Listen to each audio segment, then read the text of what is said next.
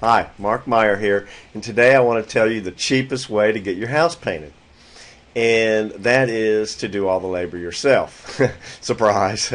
because when you do the work yourself, you don't have to pay the labor, you just buy the materials. And most of a most of the cost of a painting job is the is the labor, not the not the paint itself. So obviously you'll save the most money. A lot of people do choose that option.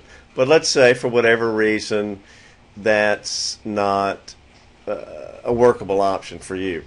I would suggest the next cheapest way to get your house painted is to hire me to work alongside with you and I will do the hard stuff. I will do the stuff that takes the most time. I will get up on the ladder and do the high do the high spots. I will do the the most technical aspects, whatever would slow a person down who didn't have a whole lot of uh, practice and expertise.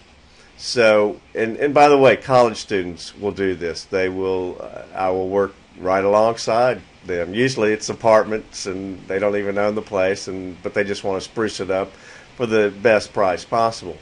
Well, I know the best paint to get for the money, and I can get a discount on that paint, so I can definitely save you some money there. And if you're willing to get out and help me, then you can certainly save some money on the cost of your paint job. It Might be pretty affordable to you. So think about it. Give me a call. Mark Myhre. Phone number is going to be somewhere around this video. All right. Talk to you later. Bye.